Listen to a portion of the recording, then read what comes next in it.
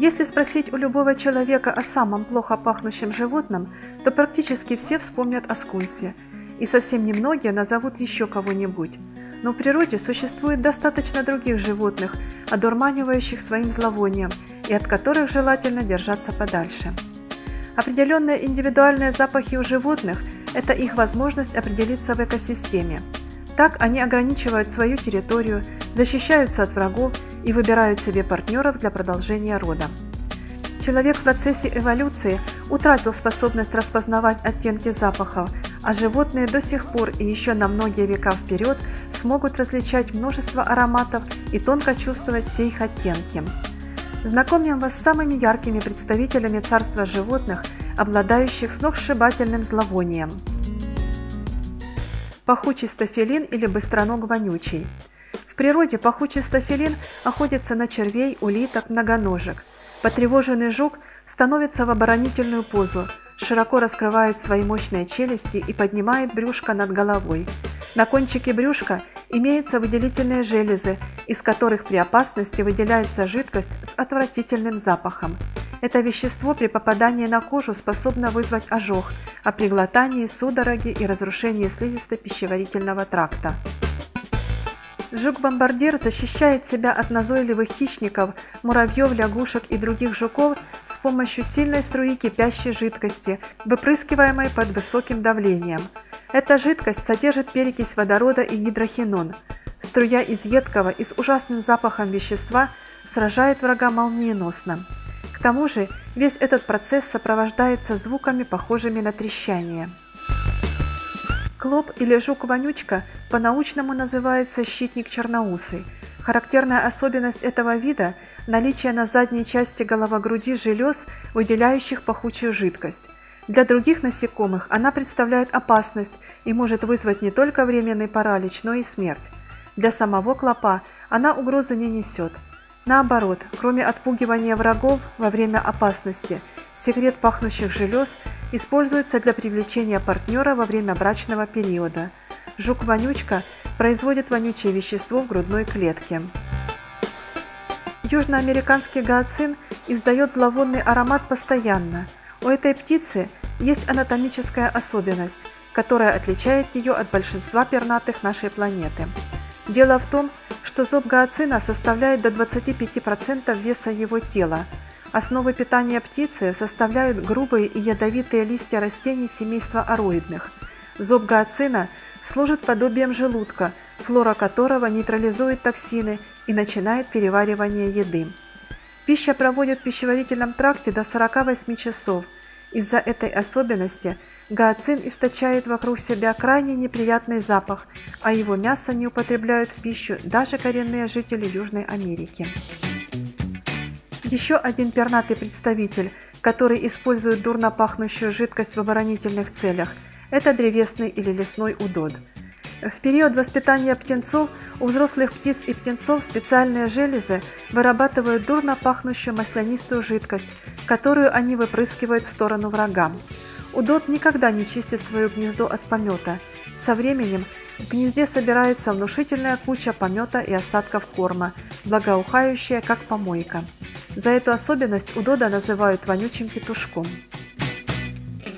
Африканский полосатый хорек или зарила обитает в Африке и принадлежит к семейству куньих. Внешне он напоминает скунса. При появлении врага Зарила взъерошивает шерсть, поднимает хвост, а затем выстреливает пахучий мускусный секрет своих приональных желез на значительное расстояние. Выделяющаяся ядовитая зловонная жидкость слышна почти за километр – этот запах пугает даже тигров, которые не отказались бы полакомиться зарилой. Для защиты скунс применяет свое знаменитое оружие запах. Под хвостом у зверьков расположены парные анальные железы, в которых накапливается зловонная жидкость, содержащая сернистые соединения. При угрозе скунс сокращением мышц выбрасывает струю секрета в сторону врага. На расстоянии 1-3 метров струя попадает точно в хищника – причем при прямом попадании в глаза жидкость вызывает временную слепоту. Но даже в случае промаха зловоние в радиусе 50 метров просто непереносимо. Опоссум – это древнее животное, за века не претерпевшее больших изменений. Их относят к сумчатым млекопитающим. Очень интересный факт. Если животное испугать, оно мигом падает на землю и притворяется мертвым. Изо рта начинает течь пена, глаза становятся стеклянными, а анальные железы выделяют особый дурно пахнущий секрет. Опоссумы могут оставаться неподвижными очень долго. Такая имитация смерти спасает жизнь животному, а его преследователь покидает место, где находится зверек. Через определенное время опоссум снова живой и здоровый. Росомаха – это плотоядное животное, похожее на маленького медведя, на самом деле свирепое и очень сильное животное. Оно может убить соперника в несколько раз превышающего его собственные размеры. Звание вонючего животного Росомаха получила из-за очень резкого и неприятного запаха мочи, которой она метит территорию и привлекает противоположный пол. Как и скунсы, во время опасности или от испуга росомахи могут выпустить дурно пахнущую струю. Говорят, что если эта струя попадет на охотничьих собак, те могут потерять остроту своего чутья. Если этим секретом росомаха пометит человека, запах будет держаться до 10 дней. Тасманийский или сумчатый дьявол издает большое количество устрашающих звуков, от монотонного рычания до жутких пронзительных криков. Именно ночные устрашающие крики и привели к тому, что первые европейцы дали ему дьявольское имя. Это всеядное животное, но предпочитает уже разложившееся тухлое и червивое мясо. Сумчатые дьяволы весьма агрессивны и очень пугливы. Будучи встревоженными, эти животные, подобно скунсам, издают сильный неприятный запах. Еще один вонючий обитатель нашей планеты – овцебык. Для ухаживания за самкой у мужских особей имеется до 15 способов. Одним из них является выделение ужасно вонючей жидкости.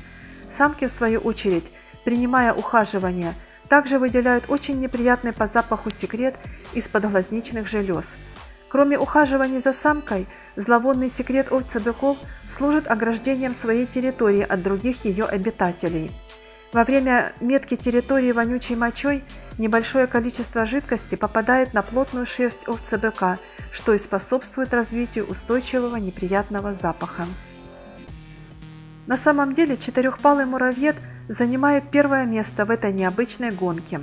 Тамандо изобрели свой способ уходить от опасности – они замирают, как только услышат, что их кто-то преследует, или храбро обороняются, используя в схватке передние лапы с большими когтями.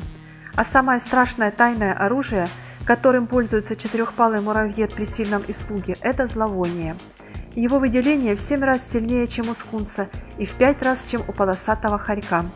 Тамандо встают на задние лапы, упираются на хвост и выпускают из своих анальных желез струю, имеющую ужасный запах, издавая при этом устрашающий шипящий звук.